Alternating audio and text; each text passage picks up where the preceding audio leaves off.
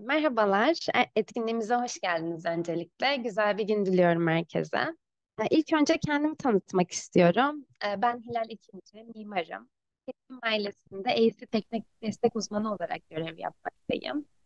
Sizlerin de bildiği gibi kaydolurken dikkatinizi çektiği üzere bugün aslında e, tüm dünyanın da ortak bir konusu haline gelen CAT ve BIM kavramları üzerinde konuşuyor olacağız. AutoCAD'den Revit'e e, geçişin neden bu kadar önemli olduğunu sizlere anlatmak için buradayım. Bu webinarla da aslında tasarım ve inşaat dünyasında sizi e, daha verimli ve etkili hale nasıl getirebiliriz? E, bu konuda nasıl önemli adımlar atabiliriz? Bunu da konuşuyor olacağız. İlk önce bu etkinliğimizde e, neler hakkında konuşacağız? Biraz onlardan bahsetmek istiyorum. İlk önce Autodesk'in AEC Collection'dan çok kısa bir bahsetmek istiyorum sizlere. Daha sonra CAD ve BIM kavramları hakkında konuşuyor olacağız. AutoCAD ve Revit e, yazılımlarının ilk önce çalışma mantığını anlattıktan sonra aslında size e, BIM'in, BIM'in avantajlarını ve AutoCAD yazılımından Revit'e yazılımına geçmek için e, bu belirlediğimiz aslında birçok sebep var ama bizim belirlediğimiz 10 sebebi de aktarıyor olacağım. Daha sonra da soru cevap kısmını, kısmıyla da etkinliğimizi tamamlayacağım. Burada aslında e, AutoCAD ailesini kullanan ya da e, 3D Max, e, Revit yazılımı kullanan kullanıcılar için de Autodesk'in e, özel bir çözümü var AEC Collection diye. Eğer e, AutoCAD, Revit, 3D Max gibi yazılımları kullanıyorsanız eğer bunu paket olarak aldığınızda diğer yazılımlara da örneğin Autodesk Forma gibi, Docs gibi diğer yazılımları da e, denemenize e, katkı sağlayacaktır diye düşünüyorum.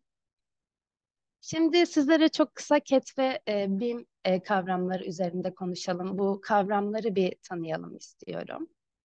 E, CAT, Computer Aided Design yani aslında baktığımız zaman bilgisayar destekli tasarımında bir kısaltması olarak düşünebiliriz.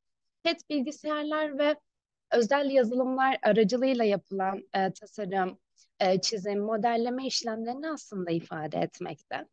Bu e, teknoloji, e, mühendislik olsun, mimarlık olsun ya da biz ürün tasarımı ile ilgili ya da birçok endüstri alanında kullanılan bir e, yazılım türü diyebiliriz. Bu noktada aslında CAD e, geleneksel el çizimlerimizin de yerini alıyor. E, uzun yıllardan beri biz geleneksel el çizimlerimizi de aslında CAD ortamında dijital ortama aktarıyoruz. E, CAD yazılımlarının en bilindik olanı e, hepimizin de bildiği gibi AutoCAD. E, Birçok sektörde kullanılan bu e, AutoCAD yazılımı bizim aslında geçmişten günümüze e, şu zamana kadar aslında e, geleneksel metottan e, modern metoda, metoda kadar yanımızda olan bir e, CAD yazılımı diyebiliriz. AutoCAD gibi bu CAD yazılımları e, sadece AutoCAD değil birçok CAD yazılımı da mevcut bu durumda. Hem iki boyutlu çizime hem de aslında üç boyutlu modellemeye izin veriyor. Ancak e, çizimlerimiz arasında ve e, takım içinde koordinasyondan biraz yoksun olduğunu söylememiz de aslında çok yanlış bir ifade olmaz. Şimdi BIM kavramını biraz tanıyalım. BIM Building Information Modeling'in aslında e, kısaltılmış e, bir biçimi diyebiliriz. E, BIM inşaat ve yapı e, projelerinin tasarım aşamasından e, yapının yapım, yıkım, işletmesine kadar tüm bu yaşam döngüsünü entegre olarak hani bir yaklaşım olarak bize sunan e, bir kavram aslında. BIM'in amacı sadece üç boyutlu modelleme değil. Yani farklı disiplinler arası entegrasyon sağlıyor ve aynı zamanda e, yönetimi de kapsayan bir e, kavram. BIM e, boyutları e, bir yapının tasarım, inşaat ve işletme süreçlerinden e, kullanılan bilgilerin farklı yönlerini aslında temsil eden kavramsal boyutlar.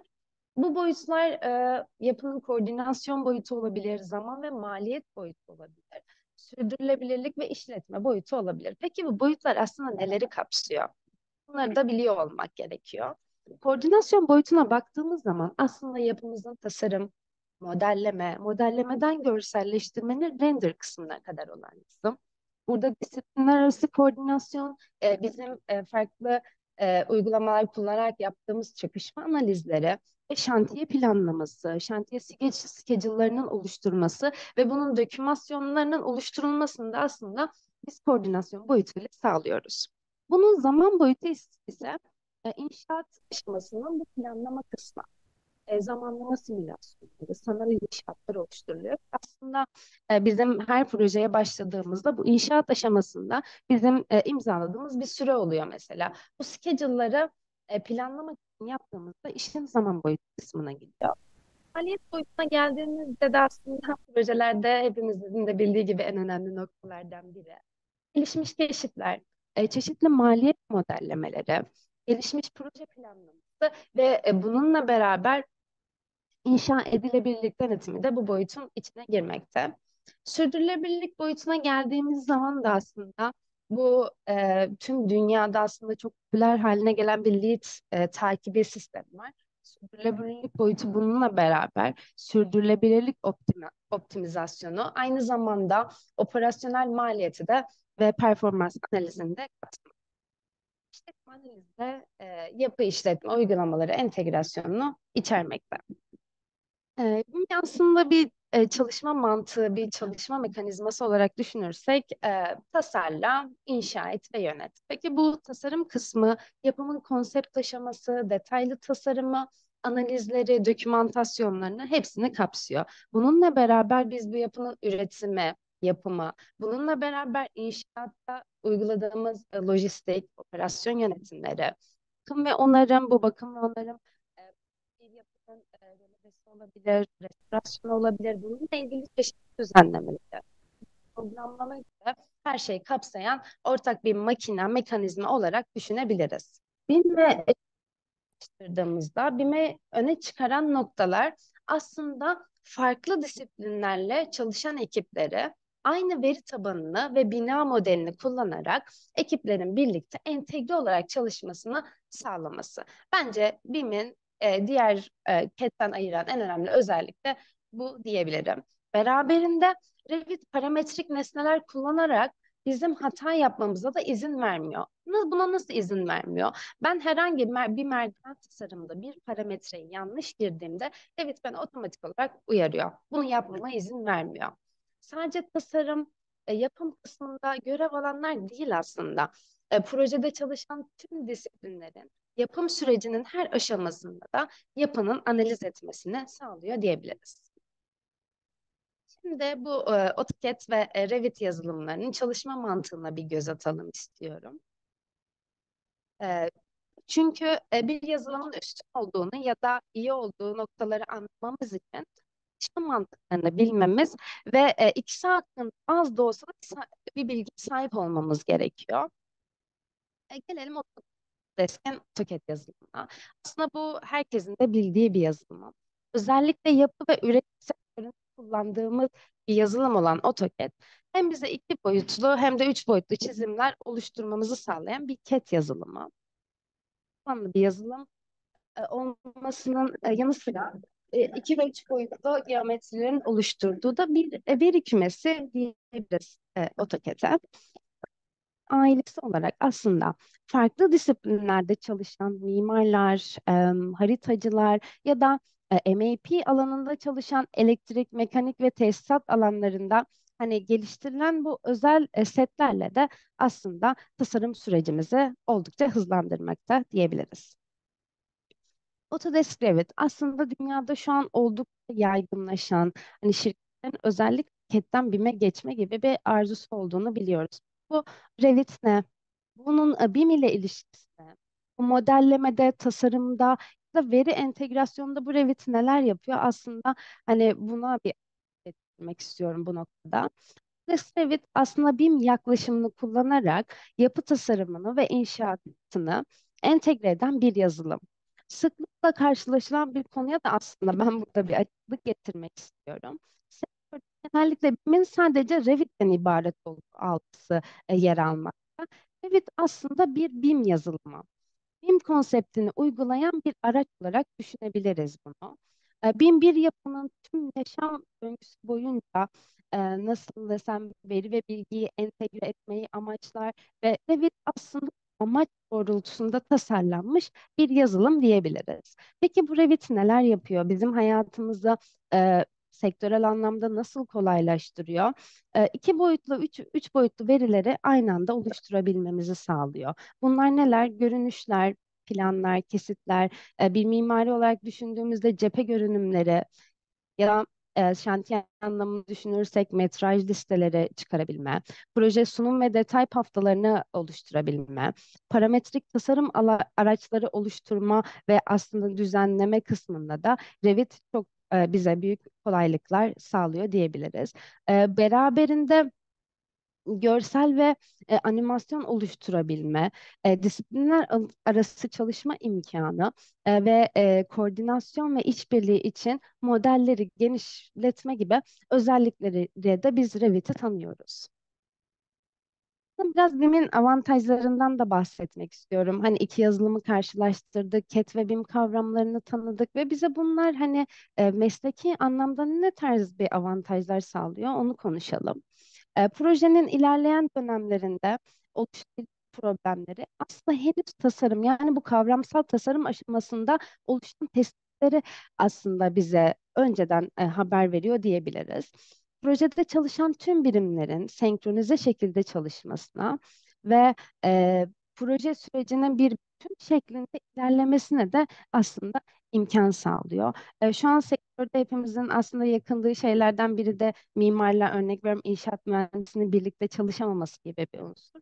Hem aslında bu noktada da bize e, güzel çözümler sunuyor diyebiliriz. E, beraberinde maliyet hesaplama aşamasında hata paylarını minimuma indirip e, ve e, proje sürecinde de kontrolleri nakit, nakit akışını e, devam ettiriyor diyebiliriz. İşlerin tekrarlanmasını önleyerek aslında zaman kaybından ve bizi de sıra masraftan kurtarıyor projenin tüm detaylarını yani bunlar mimari modelleme, mimari görselleştirme yoluyla bu e, görünür kılarak e, tüm e, birimlerin aslında motivasyonunu e, beraberinde e, verimliliğini ve üretkenliğini de arttırıyor diyebiliriz. E, Bununla beraber aslında en önemli noktalardan birisi de e, proje dataları daha sonraki aşamalarda da kullanılabilmek için saklıyor. Ben e, bir proje için bir e, kapı tasarımı ya da merdiven tasarımı yaptıysam bunu parametrik bir modele çevirip e, başka projelerimde de bu parametreleri değiştirerek aslında bunları kullanı kullanabiliyor olmam bana zaman açısından e, çok büyük bir artı sağlıyor diyebilirim. Revit'te de AutoCAD'de de baktığımız zaman e, template mantığıyla çalışan e, yazılımlar olduğunu görüyorum. Ama e, iki template yapısında birbirinden ayıran e, noktalar yer alıyor. Revit template'lerine baktığımızda e, bu az önce bahsettiğimiz yapı bilgi modellemesi yani BIM e, projelerinde kullanılan bu spesifik çizim standartlarına ve aslında protokollerine uyarken yani örneğin Revit template'lere e, malzeme sınıflandırmaları ve üç boyutlu modelleme standartlarını içerirken AutoCAD template'lerine baktığımızda ya bu genellikle e, uluslararası çizim standartlarına uygun çizimler oluşturmak için kullanılır. Yani bu standartlar e, çizimlerin e, okunabilirliğini, paylaşabilirliğini arttırmayı amaçlıyor. Burada da gördüğünüz gibi aslında template dosyalarını e, nasıl oluşturabiliriz e, onu göstermek istedim. Her iki yazılımda da ortak mantıkla oluşuyor aslında. E, hem AutoCAD'de hem Revit'te file bölümünden save as diyerek template dosyalarımızı oluşturup her projede kullanabileceğimiz bir dosya haline getirebiliyoruz.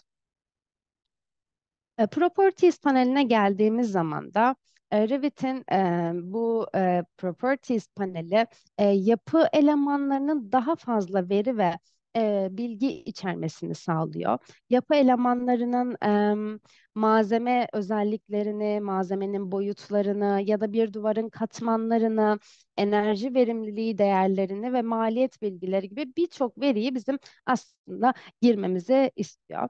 Ayrıca özelliklerin çoğu parametrik olarak birbirine bağlı ve değişkenlikler e, otomatik olarak da e, bu noktada güncelleniyor. E, AutoCAD'in e, Properties paneline baktığımız zaman aslında genellikle daha basit ve geometrik odaklı diyebiliriz. Burada gördüğünüz gibi bir line'ın x e, koordinatı, y koordinatı, e, z değerliği gibi ya da e, bir e, kütle çizdiğimizde onun küçük alanları gibi basit aslında anlaşılır şekilde ufak bize bilgiler veriyor diyebiliriz. Revit aslında bir e, family mantığıyla e, çalışan e, bir yazılım. AutoCAD'de bloklar ve dinamik e, bloklar olarak oluşuyor. Revit family'leri e, parametrik tasarım prensiplerini e, kullanarak tasarlanıyor. Bu family'nin yani burada gördüğünüz gibi pencere family'sinin çeşitli parametrelerini değiştirerek biz bunu büyütebiliyoruz ya da e, diğer projelerimize göre istediğimiz gibi parametreleri değiştirip küçültebiliyoruz e, diyebiliriz. Bu da bize farklı projelerde kullanılarak tasarruf ve verimlilik elde etmemizi de sağlıyor. AutoCAD'e baktığımızda ise bloklar e, bu noktada tekrar kullanılabilir nesneler, hani gruplandırılmamız için e, kullanılırken e, dinamik bloklara baktığımızda ise bunu daha fazla özelleştirebiliyoruz kullanıcılar buraya e, parametreleri etkilemesini sağlıyor ya da daha karmaşık nesneler üretebiliyoruz. E, dinamik blo- bloklar e, projelerimizde daha e, fazla esneklik sağlarken çizimlerimizi de e, daha verimli hale getirirken şu noktada da şuna değinmek istiyorum. E, Revit family'leri e, daha fazla parametrik veri alabildiği için daha e, kullanışlı diyebilirim. Burada Revit'teki sheet ve AutoCAD'deki layout, e, tasarım ve çizim e, belgelerinin düzenlemesi için kullanılan araçlar. E, AutoCAD'de kullanılanlar zaten e, bu layout'ı sıklıkla kullanmışlardır. E, AutoCAD e, layout'ları e, daha çok çıktı almak e, ve e, çizimleri düzenlemek amacıyla kullanılırken Revit sheet'leri e, bu e, BIM tabanlı projelerin belgelenmesi, e, sunulması için daha zengin e, ve veri odaklı bir e, yaklaşımı bize sunuyor. Şimdi aslında webinarımızın asıl konusuna geldik. E, AutoCAD'den neden Revit'e geçmeliyiz? Bunun için 10 sebebimiz ne? E, ilk önce bunu bir teorik anlamda anlatıp daha sonra uygulamalı olarak size aktaracağız. Ee, ilk sebep aslında bu noktada Revit'in iki boyutlu e, ve üç boyutlu çizim senkronizasyonu oldukça başarılı. Bunu e, ve bir önceki slaytlarımızda da oldukça fazla konuştuk. E, iki boyutlu bir tasarımın e, üç boyutlu görüntülemesini aynı anda yapabiliyor olmak gerçekten bize zaman açısından e, çok büyük yarar sağlıyor. Parametrik ve e, birlikte çalışabilirlik nesneler oluşturabiliyoruz e, çeşitli hesaplamaları, e, örneğin biz hacim hesaplamalarını bu properties paneli üzerinden de aslında görüp biz bunu kolayca değiştirebiliyoruz. İkinci bir sebebe geldiğimizde ise Revit'te bir veri girdiğimizde e, onu her yerde kullanabiliyoruz. Bir bilgiyi farklı bir yerde tekrar oluşturmamıza aslında gerek kalmıyor iki boyutlu bir nesne çizdiğimde otomatik olarak Revit bize bunun üç boyutunu beraberinde kesitinde ve görüşün, görünüşünde oluşturmakta arka planda senkronize bir şekilde. Üçüncü sebebe geldiğimizde ise çok yönlü bağlantı ve hızlı revizyonlar. E, bu revizyonlar aslında mimari alanda olsun, diğer sektörlerde olsun hepimizin ortak sorunu, ortak problemi diyebilirim. E, çok yönlü bağlantı ve bu e, bir şeyleri hızlı bir şekilde yapma fırsatı vermesi de aslında AutoCAD'den ayıran en büyük özelliklerinden biri diyebiliriz. Tüm revizyonlar yazılım tarafından otomatik olarak tüm modelde, e, görünüşte, metrajda e, ya da herhangi bir e, yerde koordineli bir şekilde yapıldığı için burada da aslında bizim yaptığımız hataları da en aza indiriyor diyebilirim. Dördüncü sebebe geldiğimizde parametrik yapı elemanları. Revit kullanıcılarına tasarımın e, gereksinimlerine uygun olarak e, yapıları özelleştirme, bu yapıları değiştirme esnekliği de sunuyor aslında. E, bu sayede e, tasarımcılar e, ya da inşaat profesyonelleri, mühendisler projelerini daha verimli bir şekilde oluşturabiliyor. Aslında bununla beraber de yönetebiliyor diyebiliriz. Diğer bir sebebimiz ise proje template'leri oluşturmak. Projelerimize özgü bir şeyler yapıp bunu sonradan kaydediyor olmak ve tüm projelerimizde bunu kullanıyor olmak gerçekten çok büyük bir avantaj sağlıyor bize. Burada e, RFA olarak e, tanımladığımız e, loadable e, family, family diye e, ifade ettiğimiz elemanlar da aslında e, çizgi tipleri ve kat seviyelerimizi de template dosyası olarak biz kaydedip e, tüm projelerimizde mesleki hayatımızda kullanabiliyoruz. Sırasına geldiğimizde tablo oluşturma.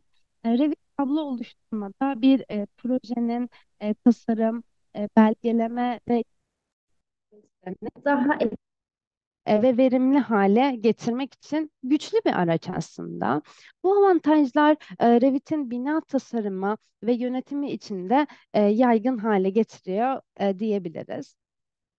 E, daha sonra görünüm ayarları ve şablonları oluşturuyor olmak, yani bunu kat planları ya da bir e, detay çizimleri yapıyor olmak da gerçekten büyük bir avantaj sağlıyor.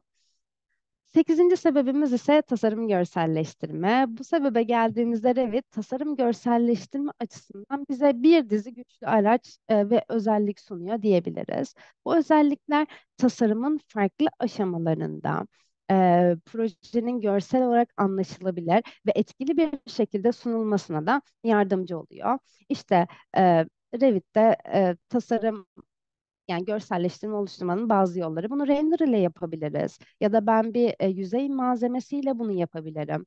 Ya da bir kesite gölge vererek ya da bir kesiti düzenleyerek e, görünüm ayarları oluşturarak da biz Revit üzerinde bu tasarım görselleştirmemizi yapabiliyoruz. E, dokuzuncu sebep ve bence en etkili ve en önemlisi BİM'in temelini oluşturan bir kavram bu aslında. Birlikte çalışabilirlik. İş paylaşımı olsun, e, dosya içerisinde aynı anda birden fazla kişi, kişi çalışabiliyor farklı disiplinlerde. Tasarım paketlerinin e, bu kullanıcı erişimini kontrol etmek için biz çalışma setleri ekleyebiliyoruz. E, yerleşik işbirliği sisteminde ise kimin nerede, e, nasıl ve hangi unsurlar üzerinde çalıştığını da aslında e, bu noktada e, görebiliyoruz. Bu aslında hani şu an e, uzaktan e, çalışma yapan e, bu sektörde çalışan insanlar için de büyük bir avantaj sağlıyor diyebilirim. Onuncu sebep ise sürdürülebilir tasarım. E, bir projenin başlangıcından itibaren düşünülmesi gereken önemli bir konu aslında bu. Revit'te bu hedeflere ulaşmamıza e, bin, ulaşmamıza farklı e, analiz simülasyonlarla e, yardımcı oluyor diyebilirim. Tasarım e, sürecinde bu e, en erken aşamasında sürdürülebilirlikle ilgili e, kararlar almak ve bu kararları Revit projesine entegre etmek için de e, çevresel ve ekonomik açıdan sürdürülebilir projeler oluşturmamızda da e, farklı e, analiz e, araçlarıyla da bize destek oluyor diyebiliriz. E, Revit ve AutoCAD e, yazılımlarına aslında birazcık da hani size e, avantajlarını uygulamalı olarak göstermek istiyorum. Burada Revit ve AutoCAD yazılımlarının boyut ve üç boyutlu tasarımda neler yapıyor olduğunu göstermek için hazırladığım bir karşılaştırma. Bu çizimde gördüğünüz gibi ben planın bir noktasında bir merdiven tasarımı yapmak istiyorum. Şu an hem AutoCAD'de başladım hem de Revit'te başladım. AutoCAD yazılımına baktığım zaman ben burada e, herhangi bir referans alabileceğim bir nokta e, yok. Ama Revit yazılımına geldiğim zaman ben üç boyutta bunun gidip kontrollerini yaptım. Daha sonra e, bu merdivenimi oluşturdum ve gördüğünüz gibi align komutuyla bunu olması gereken yere hizaladım. Gördüğünüz gibi noktalar içinde Revit bunu tamamlamış oldu boyuta gelip gerekli e, kontrolleri yaptım, düzenlemeleri yaptım ve aslında şu an benim merdivenim çift ekrana aldığım zaman da hazır. Hem bu planda hem üç boyutta hem baktığımız zaman kesitlerde, görünüşlerde arka planda da e, hazır olduğunu görüyorum ve gördüğünüz gibi AutoCAD'de ben hala hani şu an e, merdiveni çizmeye çalışıyorum. Bu noktada da Revit'in e, güçlü olduğunu görebiliyoruz. E, anlatmak istediğim şey aslında tam olarak bu. Ben şu an e, bitmiş bir e, AutoCAD'de merdiven çizimini gösteriyorum. Ben burada sadece merdivenimi oluşturdum. Merdiven tasarımı yapıyor olduğumu varsayarsak ne yapacağım? Bunu başka bir e, yazılıma atıp bunu bir e, üç boyuta çevirmem gerekiyor. Ya da bunun bir kesitini, bir görünüşünü almam gerekiyor ve hani o merdiven tasarımını beğenmediğimde sıfır baştan tekrar bu merdiveni tasarlamam gerekiyor. Ama Revit bana ne yapıyor? Sen diyor planda bana e, kodlarıyla e, çeşitli parametrelerini doğru bir şekilde yaz. Ben sana arka planda e, cephesini, kesitini, görünüşünü de vereyim diye ifade ediyor. Bu da bence e, çok e, yararlı diyebilirim. Bu nokta, bu uygulamada aslında bir kapı üzerinden neler yapabileceğimizi konuşalım istedim. E, Ben e, son anda projeme bir kapı eklemek istedim ve kapımı e, gördüğünüz gibi ekledim. Daha sonra View tabına gelip çoklu sekmeyi açtığımda bu kapıyı işaretlediğimde gördüğünüz gibi hem ben kapı metrajımda bunun eklendiğini görüyorum, hem ben görünüşte hem de üç boyutta bu kapının eklendiğini görüyorum. Kapıyı tekrar silmek istediğimde gördüğünüz gibi aynı anda senkronize bir şekilde kapıyı otomatik olarak görünüşlerde, kesitlerde, üç boyutta ve metrajda aynı anda senkronize bir şekilde kaldırdığını görüyorum. Bu özellikle de maalesef AutoCAD yazılımında bulunmamakta.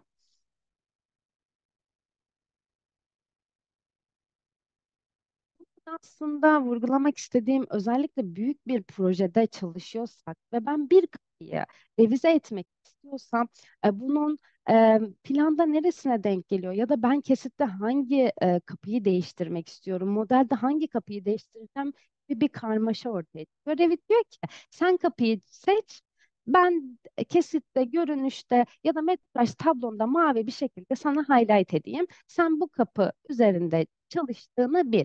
Örnek veriyorum burada bir kapıyı seçtim e, kesitten ve ben bunu e, silmek istedim. Aynı anda burada gördüğüm gibi e, üç boyutta da bunun e, aslında silindiğini e, görüyorum.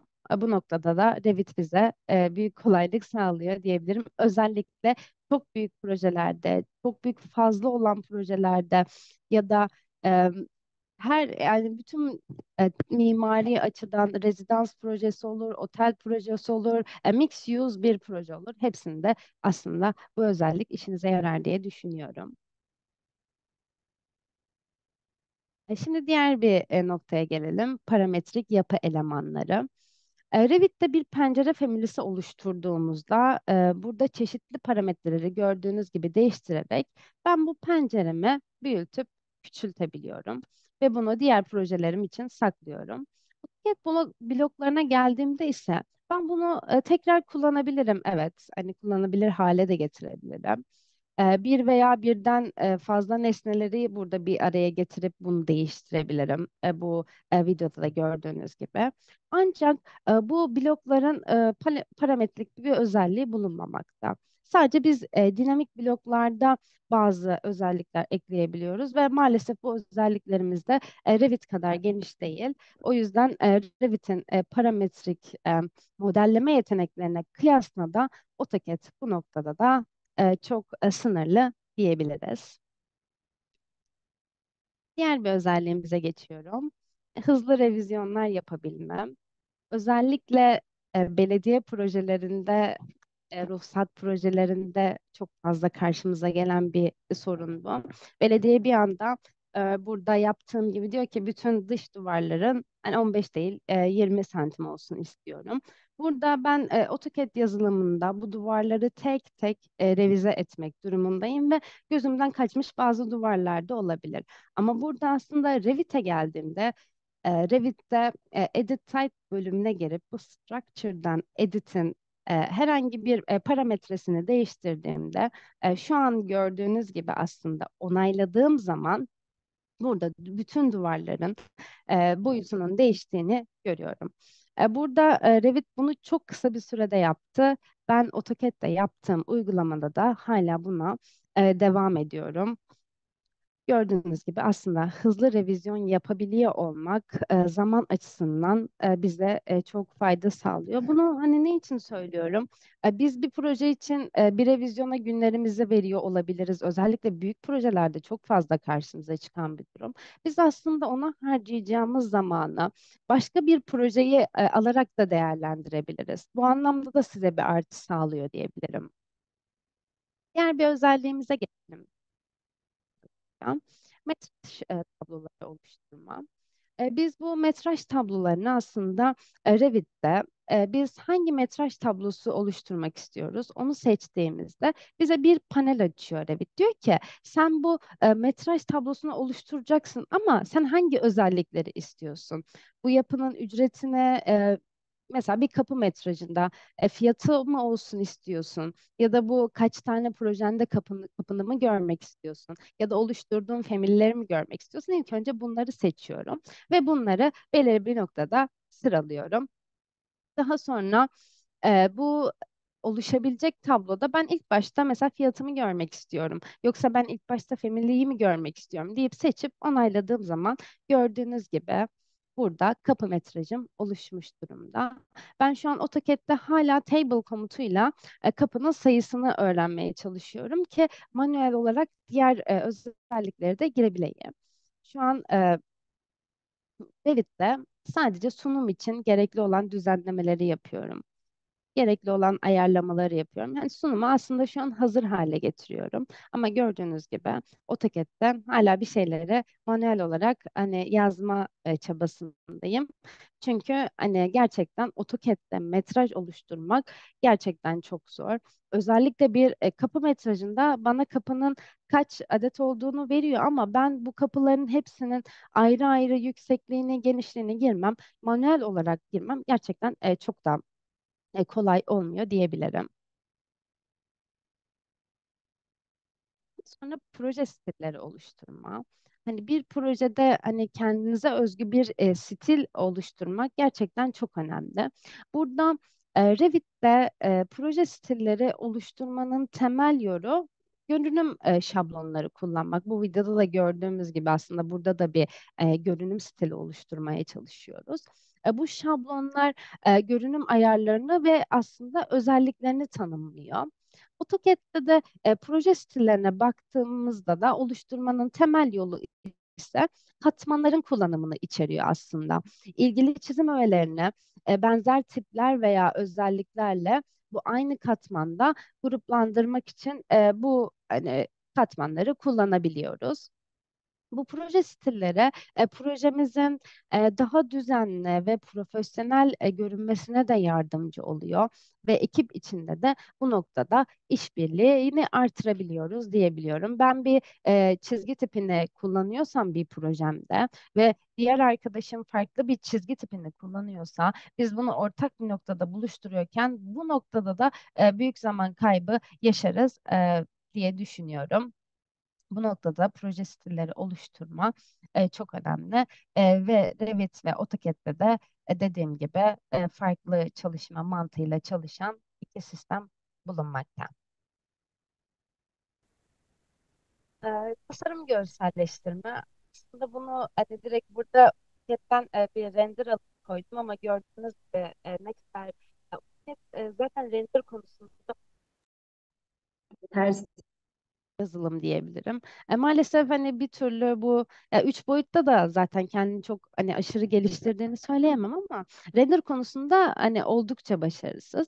E, 2024 e, versiyonuyla Revit'te yeni bir eklenti eklendi. Twinmotion belki aranızda e, mimar olanlar ya da farklı disiplinde kullanılan olanlar vardır. E, Twinmotion aslında bize e, mesela diğer e, render programlarında olduğu gibi bize sadece bir fotoğraf karesi vermiyor. Aslında hani bunun en güzel noktası bu. Bize e, dinamik olarak sahneler oluşturuyor. Biz e, bir render aldığımızda şu an gördüğünüz gibi burada bir render'ın e, başlangıcını göstereceğim size. Ben bunu Revit'te senkronize bir şekilde e, Twinmotion e, eklentisine gittiğimde gördüğünüz gibi ben bu şekilde projemi sunabiliyorum. Yani o e, insanların geçişine orada bir hayat olduğunu e, burada müşterilerime ya da herhangi sunum yapacağım e, bir yarışma projesi olur. Her yerde e, aslında bu Twinmotion eklentisini kullanabiliyoruz. Sadece bu değil tabii ki. E, Revit e, daha farklı render motorlarıyla da işbirliği halinde çalışabiliyor. Aranızda mutlaka kullananlar vardır. Bunu bir eklenti olarak e, Revit'e ekleyip senkronize bir şekilde aslında render motorlarıyla bize çalışma imkanı veriyor. Aslında önemli bir nokta. Özellikle e, Revit'te e, çalışanlar ya da AutoCAD ve Revit'i birlikte e, kullananlar için çok hani büyük bir kolaylık diyebilirim. Ben bu AutoCAD altlarını e, Revit'e getirdiğim zaman e, burada e, az önce de bahsettiğim gibi istediğim gibi bu layer'larda düzenleme yapabiliyorum. Örnek veriyorum ben sadece duvar katmanlarını burada görmek istiyor olabilirim. Ya da ben tefriş e, layer'larını AutoCAD'deki tüm layer'lar aslında mantık olarak e, Revit'e geliyor ve ben bunu istediğim şekilde ayarlayabiliyorum. Ve hani aslında bu e, linkle çalışmanın en güzel yanı ben projemde örnek veriyorum şu an e, oturma odasında ya da yatak odasında bir genişleme yapmak istiyorum. Geliyorum AutoCAD yazılımla ve e, olan bölgeyi seçiyorum ve bu genişletmek istiyorum. Bunu e, genişletiyorum. Tekrar ben e, Revit yazılımına geldiğim zaman tekrar Revit'e gelelim. E, insert menüsünden bu e, Manage Links kısmına e, geldiğimde tekrar bir güncelleme yaptığımda şimdi göreceğiniz gibi burada e, otomatik olarak ben AutoCAD'de yaptığım e, bir değişikliği Revit'te de görmekteyim. Aslında bu e, altlık olarak kullanım e, şu dönemde çok fazla yaygınlaşmış durumda. Hani AutoCAD'den hani vazgeçemiyoruz da ama Revit'i de çok hani seviyoruz. Onu da kullanmak istiyoruz e, tasarımlarımızı e, AutoCAD'de yapıp hani daha sonra altlık olarak Revit'e de bunu kolaylıkla linkli bir şekilde aktarabiliyor olmak gerçekten e, çok iyi bir özellik diyebilirim size. Bu özellik de e, maalesef AutoCAD yazılımında e, bulunmamakta. Şimdi e, sürdürülebilir e, tasarım için e, analizler kısmına e, gelmek istiyorum. Bu e, Revit'te gün ışığı analizi yapmak için e, ilk önce projemize e, bu Hidden Line e, görünümünü almamız gerekiyor. Daha sonra ise e, View Control Bar'dan e, gölgeleri açıyoruz ve yine aynı bar içerisinde bu sunsetting ayarlarını ayarlamamız gerekiyor. Burada gördüğünüz ayarlar aslında.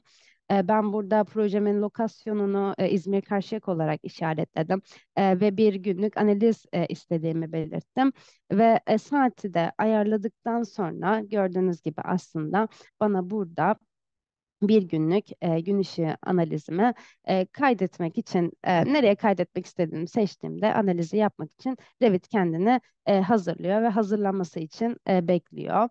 Ee, burada yaptığım hani an- analiz e, animasyonunu göstermek istiyorum aslında. Hani bunun beraberinde de biraz hani bu analizlerle ilgili konuşalım istiyorum.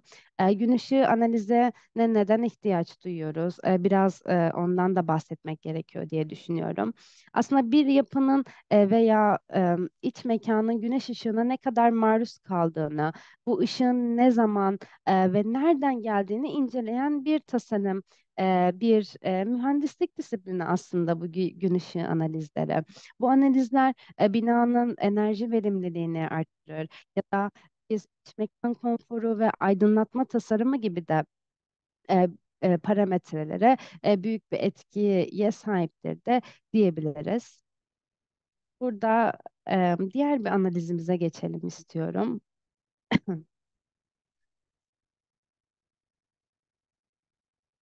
e, enerji modeli üretme.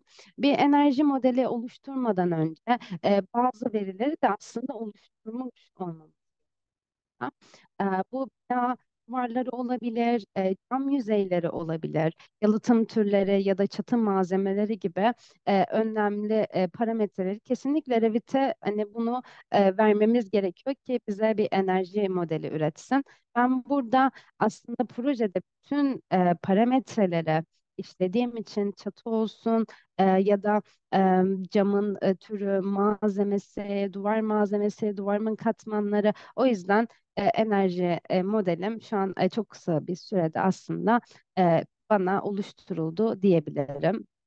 E, Revit ile e, enerji modeli oluşturmak bu e, tasarım sürecinde enerji verimliliğini arttırmak ve maliyeti azam, azaltmak için de güçlü bir araç aslında.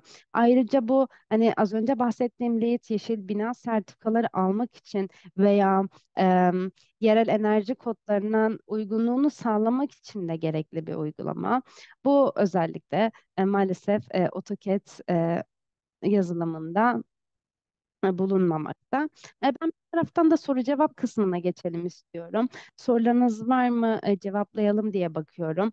E, Lütfen sorularınızı sormaktan çekinmeyin. E, Bir taraftan da tarafınıza bir anket e, göndermek istiyorum.